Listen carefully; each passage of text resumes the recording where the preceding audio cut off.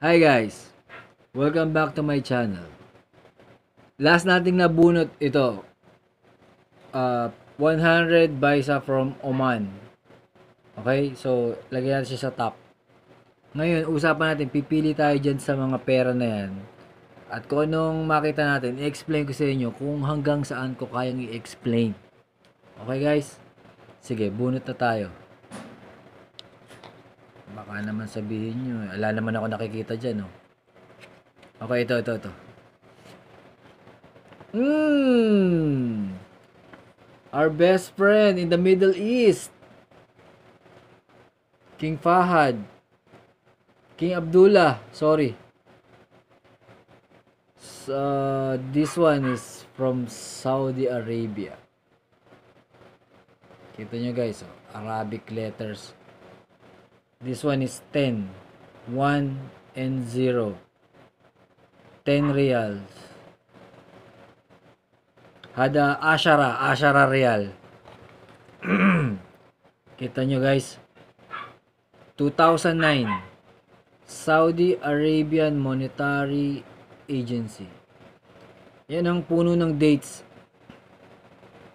Yan guys, maraming dates doon. Makikita nyo naman. Nakalagay dyan sa uh, sa ating tinitingnan ay nakalagay 10 2009 sa baba. Ayan ang kanilang um, mga designs. Sa mga yan ang Arabian designs. Tapos itong building na to yan ang typical na building dyan sa Middle East. Yan. Tingnan ko kung may camel ako nakikita.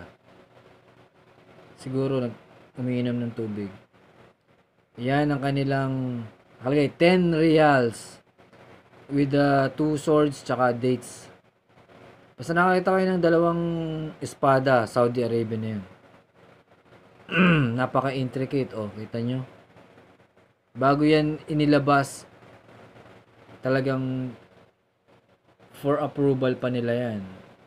So guys, ayan. 10 reals from Saudi Arabia.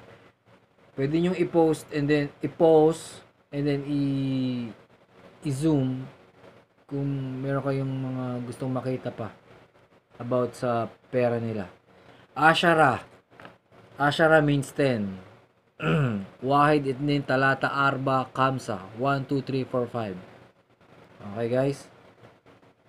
Hada shukran. Shukran means thank you. King Abdullah. 2009. Okay guys, um, so tapos na tayo ngayon sa Saudi Arabian 10 reals paper bills. So, have a nice day guys. Thank you for watching. Don't forget to like and subscribe to my channel. See you later.